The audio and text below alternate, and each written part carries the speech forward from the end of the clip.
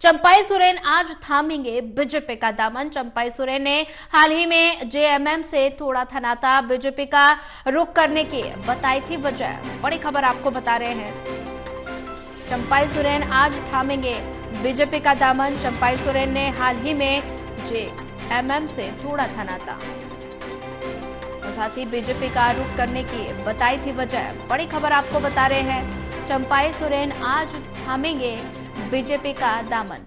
और इसी खबर पर ज़्यादा जानकारी साझा करने के लिए हमारे साथ प्रदीप कुमार लगातार एसोसिएट एडिटर बने हुए हैं। प्रदीप कुमार, चंपाई सोरेन आज भारतीय जनता पार्टी में शामिल हो जाएँगे। और हाल ही में जेएमएम से उन्होंने नाता तोड़ा है तो ऐसे में लगातार कई दिनों से अटकलें आ रही थी कि चंपाई सोरेन भारतीय जनता पार्टी में शामिल हो सकते हैं, लेकिन आज वो भारतीय जनता पार्टी का दामन थामेंगे। क्या कुछ अपडेट?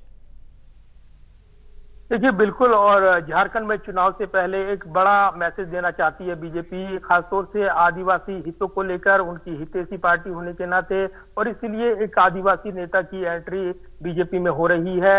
एक बड़ा मैसेज वो झारखंड चुनाव से देना पहले देना चाहते हैं और इसलिए चंपई सोरेन जो कि झारखंड के मुख्यमंत्री बने ऐसी परिस्थितियों में जब हेमंत सोरेन को जेल जाना पड़ा और उनके कद्दावर नेता आगे आए जो कि काफ़ी वरिष्ठ नेता थे चंपई सोरेन उनको मुख्यमंत्री बनाया गया, लेकिन जब जेल से बाहर आए हेमंत सोरेन, उसके बाद उन्होंने वहाँ पर जो बदली की और फिर सरकार पर काबिज हुए मुख्यमंत्री बने। हैं उसके बाद चैंपियन सोरेन नाराज़ हो गए, उन्होंने ये नाराज़गी खुलकर ज़ाहिर की और ये भी कहा कि उनका, उनको अपमानित किया गया है। और उसके बाद उनके संपर्क बढ़े थे बीजेपी नेताओं के साथ और हेमंत बिस्व शर्मा और शिवराज सिंह चौहान केंद्र के मंत्री वो लगातार संपर्क में थे उनसे मुलाकात भी हुई थी।